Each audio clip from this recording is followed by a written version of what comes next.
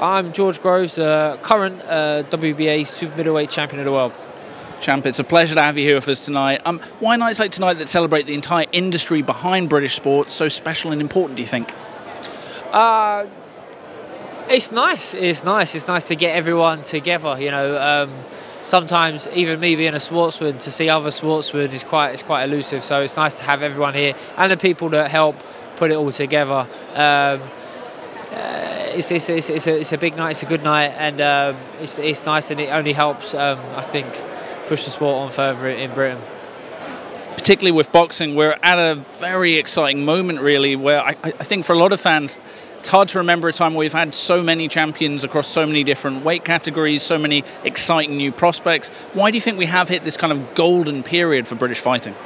Well, first of all, um, the grassroots investment that's come from um, you know uh, UK lottery funding that's, that's, that's been influential. I came through the system, and many like it before a lot of people have to pay tribute to Audley Harrison winning the gold medal, um, you know, some time ago now. That sort of really got people involved and interested in boxing. Since then, we've had loads of success amateur, and now that's filtered through into the pros.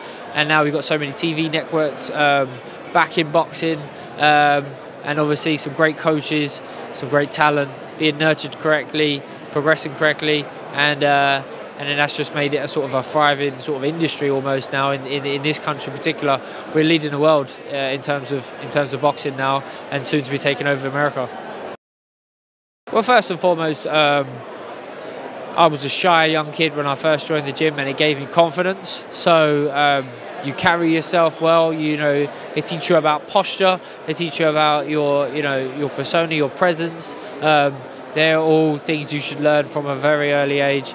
But um, it gives you discipline. It gives you um, sort of ambition and uh, and drive and, and dedication. And they, are all things that uh, will suit anyone in, in, in any anything that they do in life. So. Uh, they're fundamentals that you need in boxing.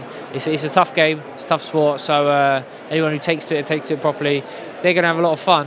They're going to pick up a lot of good uh, good life skills along the way as well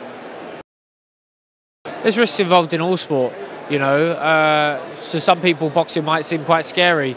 Uh, driving a Formula One car, you know, at 200 plus miles an hour is pretty scary to me. If I was to play rugby, I'd be pretty scared of a 17 stone guy charging into me. So um, every sport carries its own danger, but if it didn't, there wouldn't be that excitement, and any, you know, you wouldn't see the very best get to the top. So boxing, yeah, once you get past the emotional side of a contact sport where it's two people physically throwing punches at each other and you can appreciate the skill and the will that's involved in boxing, then uh, it's a sport for absolutely everyone and anyone. Um, you haven't got to be from uh, a wealthy background, you know, working class sport where the best fighters in the world are usually from a working class background. So it's, it's, it's a sport accessible to everyone in the country um, as I say, it can teach you a lot about yourself, and um, you know, like any other sport, it carries its dangers, but uh, in many cases, not more so than others, if I've said that correctly. So I'm in the final of the uh, WBSS um, tournament. I'm fighting a, a, fellow Brit, Callum Smith. Uh, uh, date of that fight is to be uh, sort of confirmed, but it will be this summer. We've both had two to uh, pre pre fights to get to the final, and uh, that's a fight for the and all British fights always exciting. So it's for the for the fight fans of the UK to get behind. That's what's on my horizon, and uh, hopefully that's going to be a great night for me, and everyone can get involved and enjoy it.